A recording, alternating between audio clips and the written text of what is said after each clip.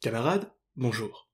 Toujours dans notre optique de comprendre un peu mieux le monde mérovingien, on va aujourd'hui zoomer sur un moment clé et souvent romancé du règne de Clovis, son baptême. Souvent traité, peu sérieusement étudié et instrumentalisé, on va essayer de comprendre alors où s'arrête le mythe et où commence la réalité.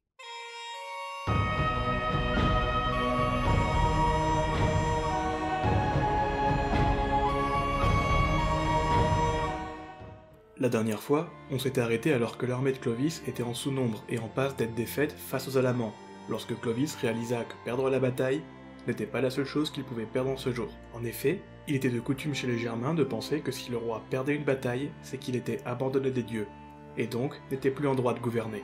C'est à ce moment que Clovis, d'après Grégoire de Tours, hein, toujours, fait le serment de Tolbiac. Si le dieu de Clotilde lui accorde la victoire, il jure de se convertir.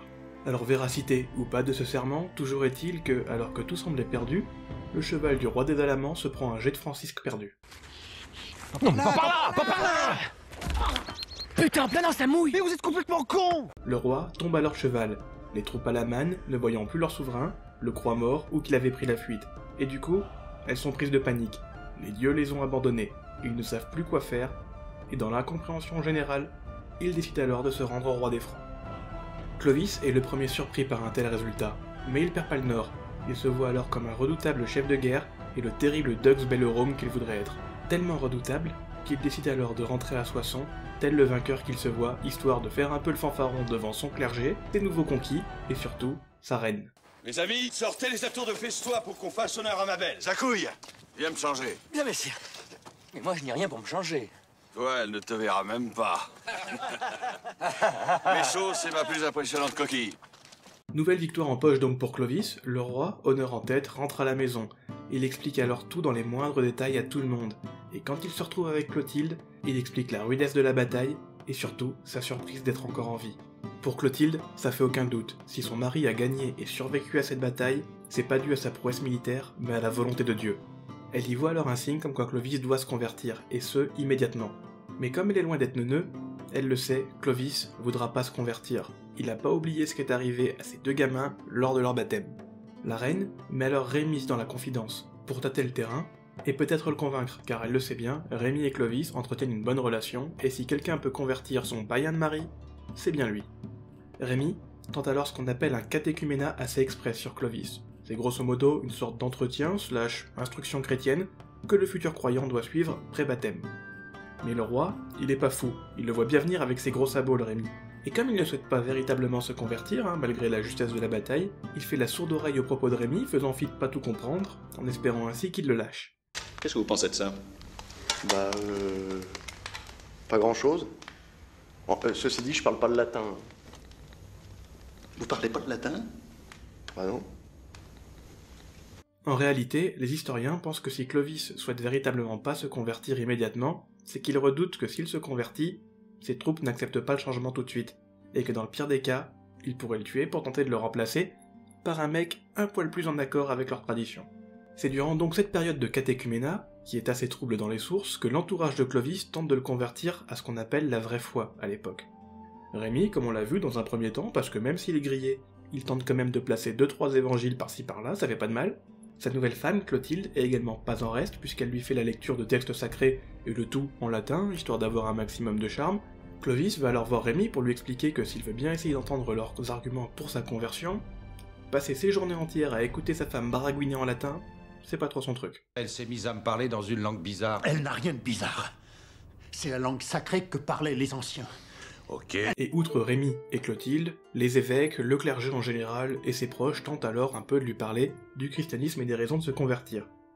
C'est donc durant cette période que l'on situe entre 496 et 499 qu'arrive le moment décisif qui finit de convaincre Clovis. Alors non, c'est pas grâce à Clotilde. Et non, c'est pas grâce à Rémi non plus. Du moins pas directement.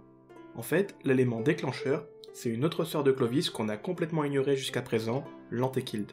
L'Antéchilde est une chrétienne arienne, comme beaucoup de Germains, elle parle donc de fait à Clovis que se convertir au christianisme c'est bien, c'est la bonne idée, mais se convertir au christianisme arien, c'est mieux.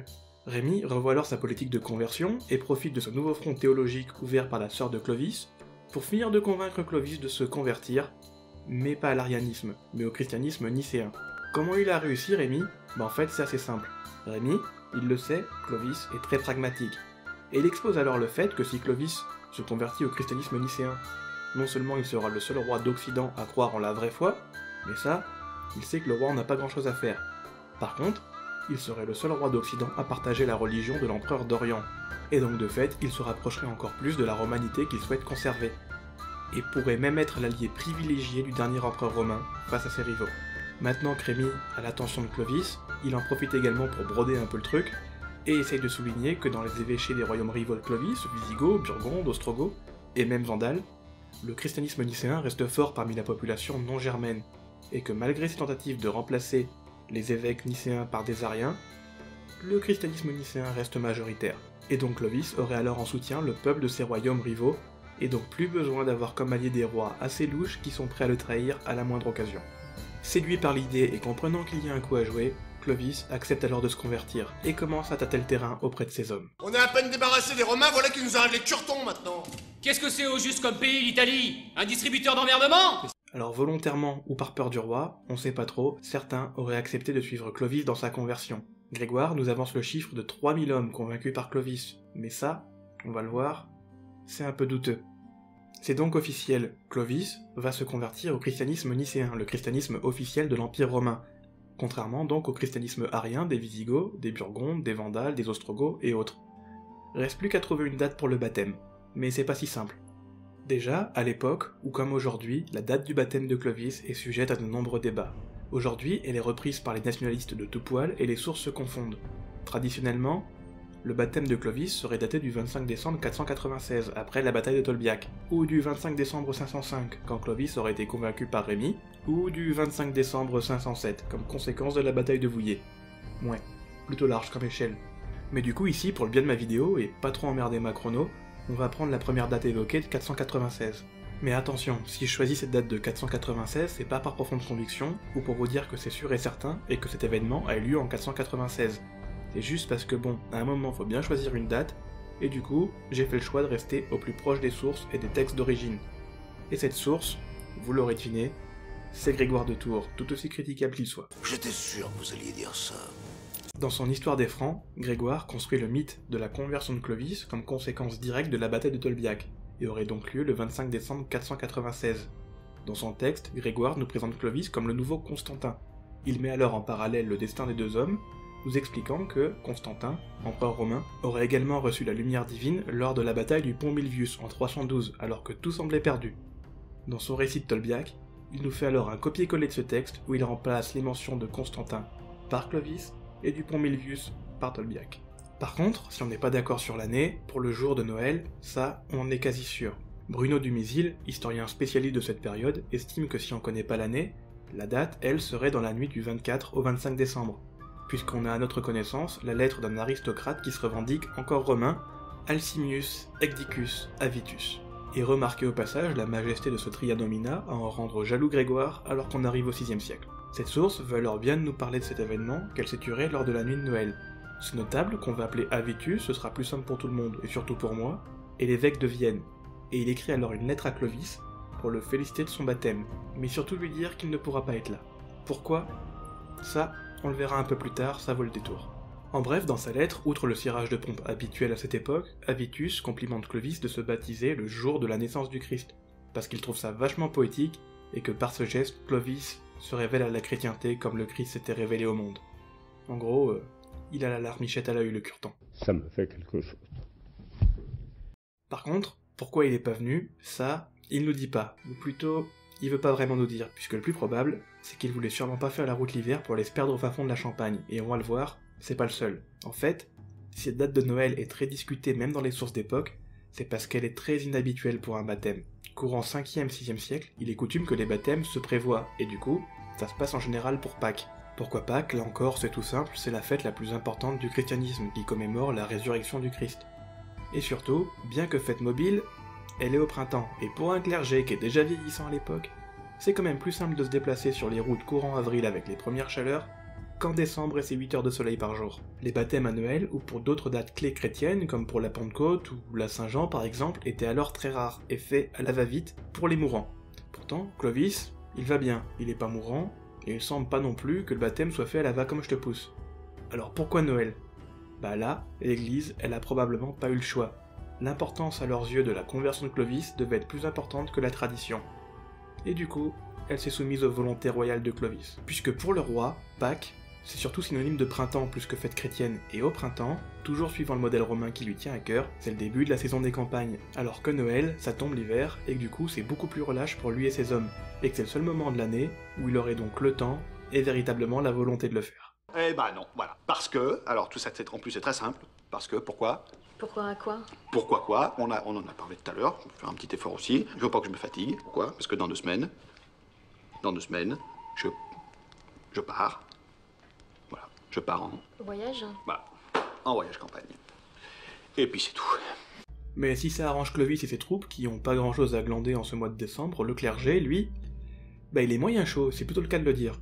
Les évêques, qui on l'a vu sont déjà assez âgés, préfèrent rester bien au chaud les doigts de pied en éventail devant la cheminée plutôt que de prendre la route pour aller se perdre au fin fond de la Champagne. Généralement, baptême ou pas, on s'arrangeait pour que de telles réunions se passent courant printemps, voire début d'automne, afin d'éviter ce que les sources appellent les maladies diplomatiques. Une bonne grippe, quoi. Blague mise à part, on a plusieurs sources qui traitent justement de ces voyages courant 6 siècle de ces vieux messieurs, qui se retrouvent alors embourbés sur des chemins de campagne avec de la pluie pour seul compagnon, et ça, pour des journées entières. Faire bouger le clergé gaulois en hiver, c'est pas chose simple, puisque même Rémi, pourtant le régional de l'étape, évitera de se déplacer lorsque Clovis va perdre sa sœur, Odofled.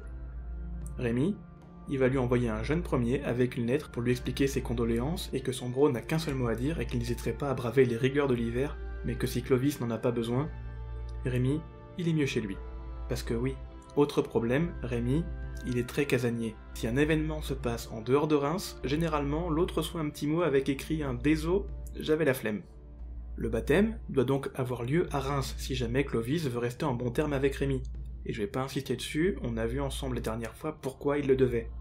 Imaginez alors la tête des évêques de Gaulle quand ils ont reçu le message comme quoi leur présence était fortement conseillée pour le baptême d'un roi franc dont les troupes, il y a encore 4 matins, pillaient les églises, le tout en Gaule-Belgique et en plein mois de décembre. Pour vous faire une idée, Sylvain Apollinaire nous a fait parvenir une correspondance d'un admirateur secret de Rémy, situé dans le sud de la Gaule, et qui était alors stupéfait de voir que dans le pays des loups, des ours et des barbares, un ecclésiastique comme Rémy était capable d'écrire sans faute de grammaire. C'est le Nord. Tu m'as demandé, mon petit, c'est le Nord. Je t'ai répondu Alors ça va. Bref, en attendant leur réponse, et comme on a un peu de temps avant Noël, et qu'il y a pas mal de boulot à faire, le clergé tente alors de finir un peu son catéchuménat de Clovis. Et du coup, bah en croire Grégoire, des soi-disant 3000 gonzes que Clovis aurait aussi convaincu. Va en falloir du curton. Ces journées se déroulent alors autour de lecture de la Bible, de prières, d'explications théologiques, d'entretiens privés avec le clergé, pour s'assurer de leur connaissance, de bien être au courant de ce qu'ils demandent et s'ils sont véritablement sûrs d'être en adéquation avec les idées chrétiennes. Ce qui, vous vous en douterez, si les 3000 gus étaient bien là, devait être pas si simple pour le clergé de l'époque. Il y en a combien qui parlent pas le latin ici? Mais bon, prêt ou pas prêt, la date de Noël, elle arrive, et du coup, s'ensuit alors le baptême assez typique de cette époque. On trace alors un signe de croix avec une huile sur le front du roi, et on l'invite à se dessaper complètement. Là, alors qu'il a le sifflet à l'air devant tout le monde, Clovis est invité à entrer dans la piscine baptistale, et une fois qu'il est dedans, l'évêque, ici Rémi, le rejoint. Pendant que Clovis est en train de barboter dans la piscine, Rémi pose alors trois questions à Clovis sur sa croyance en la Trinité, auquel Clovis doit répondre que oui, il y croit, parce que s'il répond qu'il y croit pas, le baptême, ben, il est un peu foutu. Du coup, une fois qu'il a répondu, on l'immerge alors complètement, c'est là qu'il faut être bon en apnée, et il est invité à ressortir. On retrace un nouveau signe de croix sur son front, cette fois avec un crème, une sorte d'ongan chrétien plus sacré que les autres, et il revêt alors une tunique toute blanche. Maintenant, Clovis, il n'est pas encore chrétien. Il doit alors suivre l'évêque et assister à sa première messe chrétienne, et communier également pour la première fois. Et là, voilà, c'est enfin fait. Clovis est maintenant chrétien. Du coup, si Grégoire a raison, il faut alors répéter le process individuellement pour les 3000 gus qui attendent. J'ai fini mes ablutions. À toi. Non, non, non, messire Moi, c'était pas la peine. J'ai pris un bain il y a deux mois dans la rivière. J'ai fini mon lavement, tu peux y aller. C'est trop bouillant Qu'est-ce qu'il a brinque Une fois les baptêmes faits, on finit quand même par un petit gueuleton en mode Astérix parce que bon, on n'est pas des bêtes, et Clovis reçoit alors de nombreux cadeaux de la part du clergé. Clovis est donc maintenant bien installé, soi-disant christianisé, et gère un royaume pacifié. Il va commencer à être pris encore plus au sérieux. Le voilà roi incontesté du nord de la Gaule, avec un clergé, une administration et des notables qui le soutiennent. Clovis a également deux alliés assez solides pour l'épauler qu'on a vu dans la dernière vidéo, le roi des Burgondes Gondebaud et le roi des Ostrogoths Théodoric. Solide? Oui, mais pour combien de temps et à quel point? Clovis peut-il véritablement faire confiance à un roi fratricide et à un autre avec des ambitions tout aussi importantes que les siennes? Est-ce que la conversion de Clovis change véritablement alors ses relations avec les autres royaumes maintenant qu'il a des frères chrétiens? Et dans tout ça, les Visigoths? Ça va faire deux vidéos que je vous en ai pas parlé. Qu'est-ce qu'ils sont en train de préparer dans leur coin? Ça donne envie, hein? Non? Eh ben tant pis. Mais tout ça, on le verra la prochaine fois.